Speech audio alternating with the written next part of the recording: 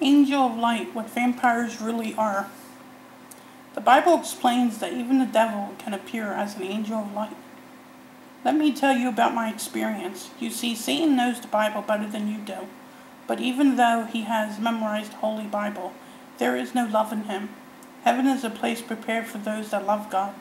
Satan loves only himself, and he tries to get you and me to do the same. Vampirism is about self. The motto is the motto in vampirism is to love thyself more than anything else.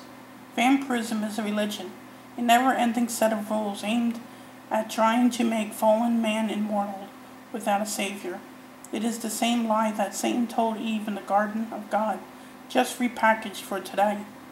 Satan fabricated a religion called vampirism by twisting the Bible verse that says the life is in the blood. Almighty God said, Do not ever drink the blood of any fallen man or animal. Only the blood of Jesus can sustain you and give you eternal life.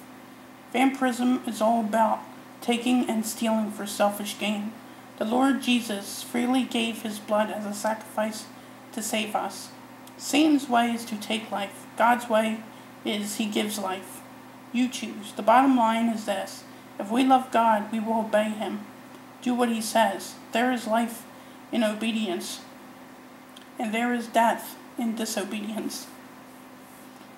In 1993, I was 19 years old and living in Pennsylvania with a man almost twice my age. The man was very abusive, but at least it was an escape from the constant fighting at home. The man did have a good job, a house, and a car, so I put up with the ever worsening physical and mental abuse. But along came a spider. For me, it was the occult, particularly vampirism. It seemed to be the perfect escape.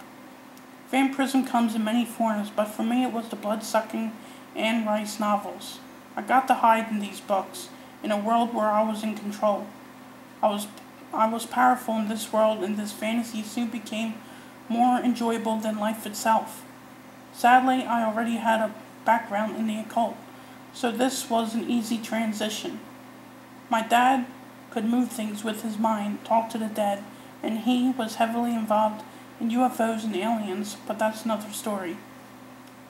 One evening I went outside to take the trash out when I suddenly had an overwhelming feeling that someone was standing behind me.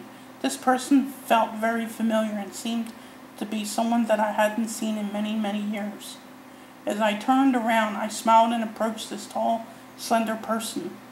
But as I got closer to him, I noticed he wasn't just some ordinary person.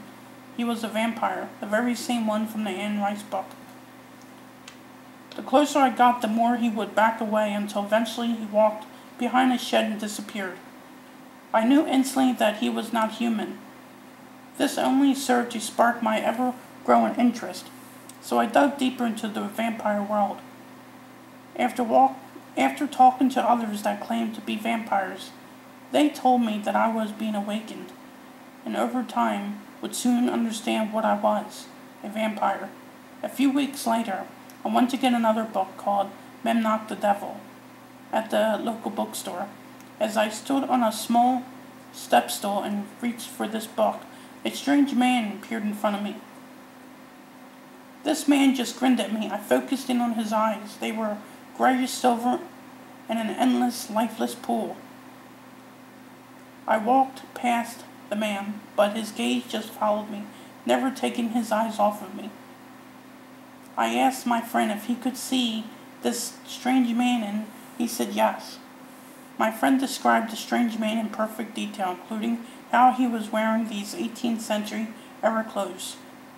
This man, this man then proceeded to the checkout counter and purchased the book.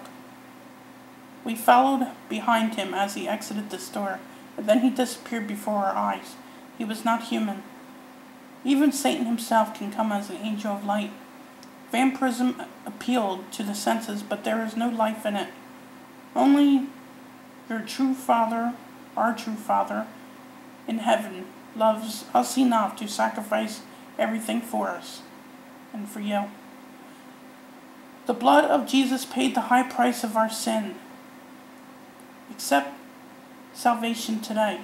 Choose Jesus. Choose true eternal life. God bless you. I hope this blesses someone.